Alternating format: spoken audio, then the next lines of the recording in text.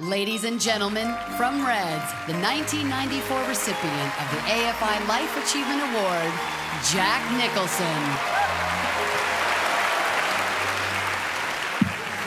Evening, evening bro. Um, excuse me. How's it going, bro? Fine? Oh, it's me. Okay, Yeah, right. yeah. Now, you may wonder why I do call him the pro. What else are you going to call a guy that's uh, won more awards than he's made pictures?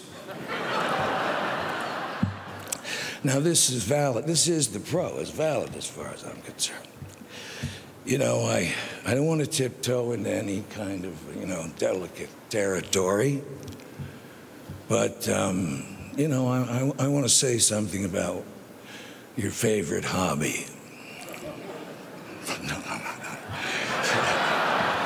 You're a fantastic piano player, tremendous. Architect par excellence.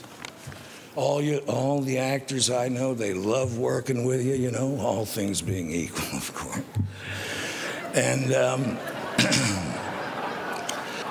you know, I'm representing, you know, the fair weather friends that you've got all over the city that went to the Laker game tonight, you know.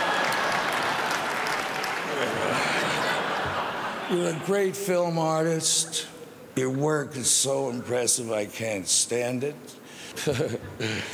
You're the greatest, baby. I, I'm so happy for you. I really am. Thank you very much.